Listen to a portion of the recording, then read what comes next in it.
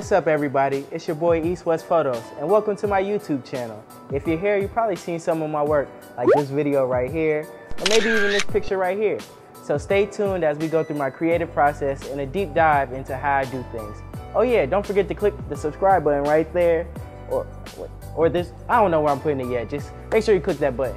So I got the name East West Photos from having a clothing line back in 2009. So I'm about 10 years in on this name.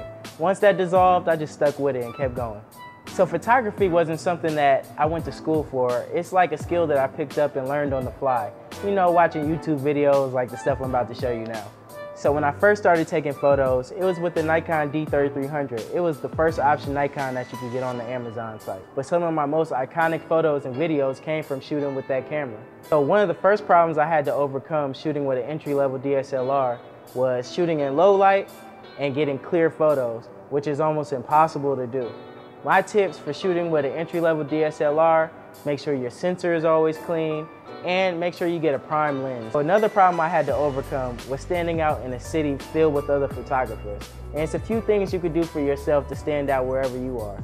Make sure you do fast and quality work.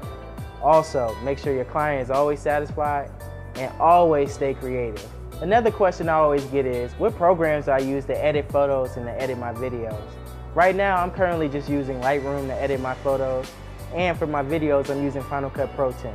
You never know when that next big opportunity is gonna be calling your phone. So another pro tip for my photographers are, please make sure your cameras are always charged, your lenses are clean, your memory cards are formatted, and you have a solid form of transportation.